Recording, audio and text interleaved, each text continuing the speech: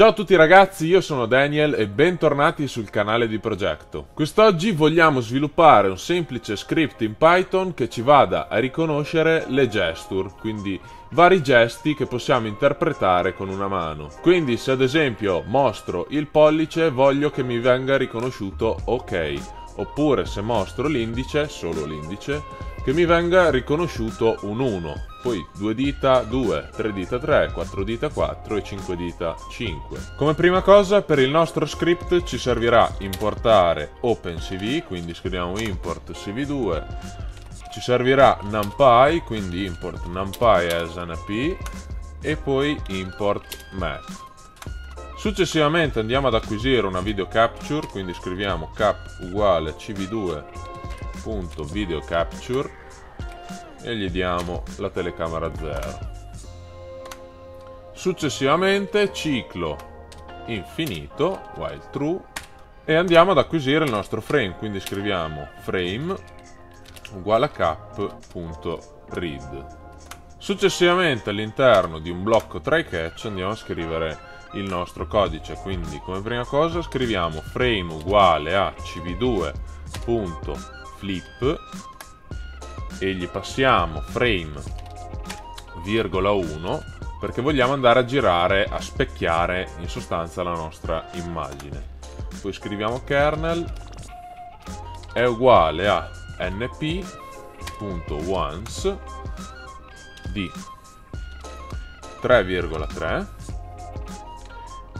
e poi prendiamo un np di uint 8 Successivamente andiamo a definire la regione di interesse, quindi region è uguale a frame di, ad esempio, mettiamo 100, 300, poi di nuovo 100, due punti 300 e andiamo a disegnare un rettangolo, quindi rectangle, poi gli passiamo il nostro frame, dimensioni di partenza, varie dimensioni di arrivo colore quindi mettiamo 0,255 0 ad esempio e 0 poi scriviamo hsv e andiamo a convertire il colore della nostra regione quindi cvt color e gli passiamo la nostra regione, virgola, cv2.bgr to hsv in questo modo. Ora invece andiamo a definire un range tra virgolette di colori che eh, la nostra mano può assumere. Quindi eh, scriviamo lower skin è uguale a np.array e gli passiamo successivamente 0,20,70 con dtype uguale a np. sempre come prima uint 8 copiamo incolliamo e scriviamo limite superiore che è costituito da 20 255 e 255 sempre np wint 8 ora andiamo ad estrapolare il colore tramite una maschera quindi mask è uguale a cv2 punto in range e gli passiamo. Eh, la nostra immagine convertita in hsv gli passiamo il limite inferiore e gli passiamo il limite superiore quindi upper skin quindi con questa parte qui in sostanza la regione contenuta eh, tra il minimo e il massimo verrà colorata di bianco e la regione esterna al minimo e al massimo verrà colorata di nero. In questo modo noi potremo avere una maschera in cui la parte bianca è costituita solo dalla nostra mano. Successivamente andiamo a dilatare un po' l'immagine, quindi scriviamo cv2.delete mask e gli passiamo kernel e un numero di, di iterazioni uguale ad esempio a 4 e successivamente andiamo a sfocare un po' la maschera quindi scriviamo mask per riempire un po' più i contorni per farla sembrare un po' più morbida. Scriviamo Gaussian blur e gli passiamo la mask gli passiamo 5,5 e 100 e successivamente andiamo a mostrare la maschera. Cv2.imshow passiamo il nome mask e mask. Scriviamo except exception as e due punti pass e non ci interessa. Ed infine andiamo a scrivere cv2.mshow gli passiamo il titolo frame con il nostro frame.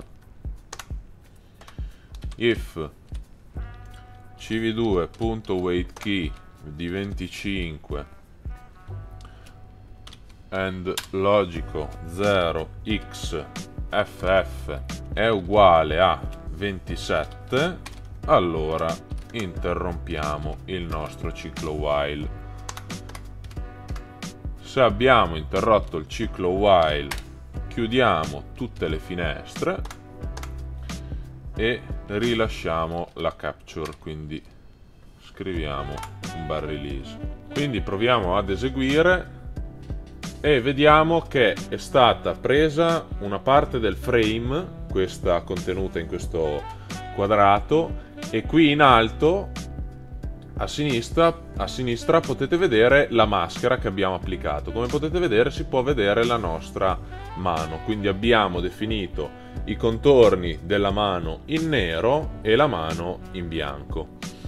Come potete vedere sfocando un po' l'immagine e comunque dilatandola, la nostra mano sembra molto più uniforme.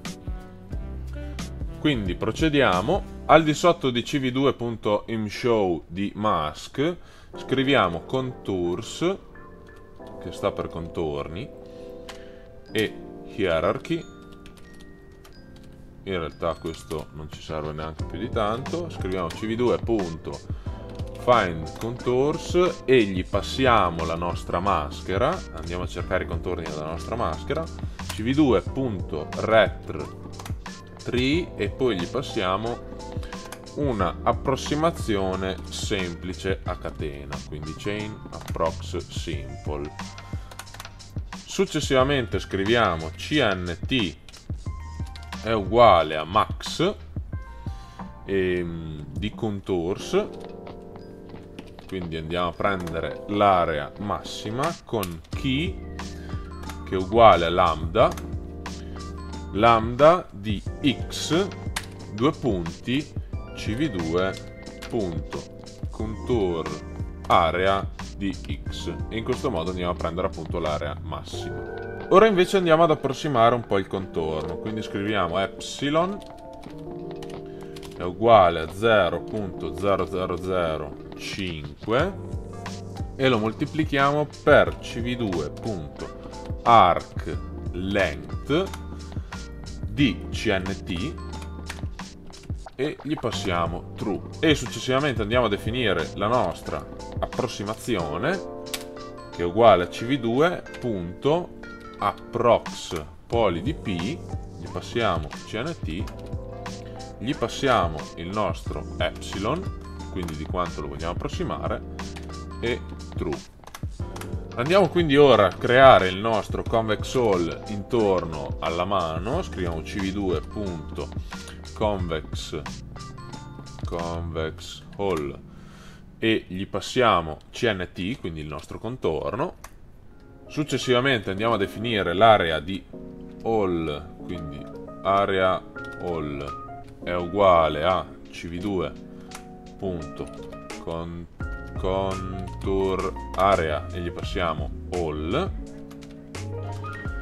e poi l'area del contorno, quindi area CNT che è uguale a CV2 potevamo anche copiare e incollare e gli passiamo CNT in questo modo questa la scriviamo maiuscola quindi ora andiamo a cercare la percentuale di area non coperta dalla mano nel convex all e scriviamo area ratio che è uguale a eh, parentesi parentesi l'area di all meno l'area del contorno diviso l'area del contorno e lo moltiplichiamo per 100 successivamente andiamo a cercare i difetti all'interno della regione di all rispetto alla nostra mano. Quindi scriviamo all è uguale a cv2.convexall e gli passiamo l'approssimazione con return points uguale a false. E successivamente definiamo i difetti quindi defects è uguale a cv2.convexity defects e gli passiamo a prox e all. Utilizziamo L per contare i difetti e quindi ora andiamo quindi a contarli. Scriviamo for i in eh, range di eh, defects.shape shape di 0 due punti. S, E, F e D saranno uguali a defects di virgola 0 a noi però interessano questi primi tre, quindi andiamo a scrivere start. È uguale a una tupla dell'approssimazione di S di 0. Copiamo e incolliamo che facciamo prima. In Python mi raccomando indentate. AND è uguale ad E e far è uguale a f. Ed infine scriviamo pt è uguale a una tupla costituita da 100 e 180. Successivamente andiamo a cercare la lunghezza di tutti i lati del triangolo, scriviamo mat mat.sqrt e gli passiamo end di 0 meno start di 0 per per 2 e poi gli sommiamo end di 0 end di 1 scusate. Meno start di 1 e anche questo facciamo per per 2 ovviamente questo per per 2 significa elevare al quadrato. Quindi ora copiamo e incolliamo per fare prima e facciamo la stessa cosa con B che sarà uguale a far di 0 meno start di 0 più far di 1 meno start di 1 ed infine abbiamo end di 0 meno far di 0 più end di 1 meno far di 1 infine S sarà uguale a A più b più c diviso 2 ovviamente questo è da chiamare c e successivamente scriviamo r uguale a mat di sqrt e poi gli passiamo s per s meno a per s meno b e per S-C. Ora calcoliamo la distanza tra i punti del convex all, quindi 2 per AR diviso A, e andiamo a calcolare l'angolo, che è uguale a mat.cos di B al quadrato più C al quadrato meno A al quadrato, il tutto diviso per 2 per C per B e poi moltiplichiamo per 57. Successivamente andiamo ad ignorare gli angoli maggiori di 90 gradi e anche i punti troppo vicini alla convex all. Quindi scriviamo che se l'angolo è minore o uguale a 90 quindi solo in questo caso e d ad esempio è maggiore di 30 allora scriviamo L più uguale a 1 e andiamo a disegnare un cerchio. Quindi circle gli passiamo la nostra region gli passiamo far gli passiamo 3 un colore quindi 255 00 ad esempio virgola meno 1 andiamo a disegnare delle linee che definiscono i contorni della regione quindi region start end che sono poi le linee che verranno disegnate intorno alla nostra mano. Gli diamo un colore ad esempio 0 255 facciamo anche 225 0 virgola 2 scriviamo L più uguale a 1 al di fuori del ciclo for successivamente scriviamo font uguale a cv2 punto font Hershey Simplex poi scriviamo se L è uguale uguale a 1 andiamo a controllare se l'area contorno è minore di 2000 se è minore di 2000 allora andiamo a scrivere qui i due punti. cv2.putText andiamo a scrivere il testo frame virgola. Diciamo di avvicinare la mano.